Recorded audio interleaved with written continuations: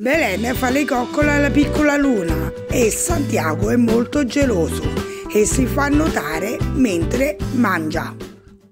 Ciao Cuci. Quando andiamo? Una. Hola! Ai, guarda il Ah gelosone. no, hai, hai, hai Subito il gelosone. Hai dimenticato il 3.